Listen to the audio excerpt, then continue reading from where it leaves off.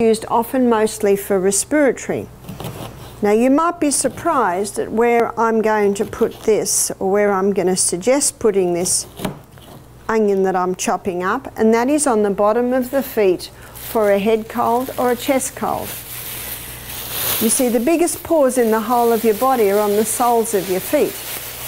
So what you do is you get a plastic bag thus and you put the onion in the plastic bag and then the foot is put on the, let's say this is the foot, you put it on the onion in the plastic bag and then twist this bag around and around and secure it and then put a sock on and the sock will hold it nice and nice and firm.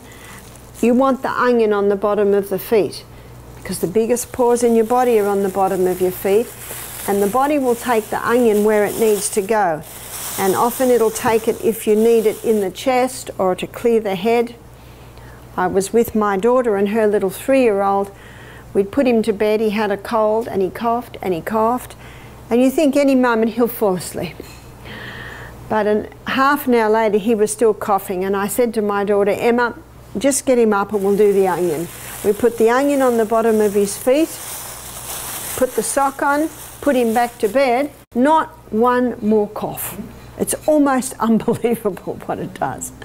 It's such a simple treatment and yet quite uh, effective. The, the bottom of the feet do not get tender, uh, it doesn't irritate. Um, obviously, once you take it off in the morning, you would throw it away. But that's a very simple treatment that can be done for someone with, with, with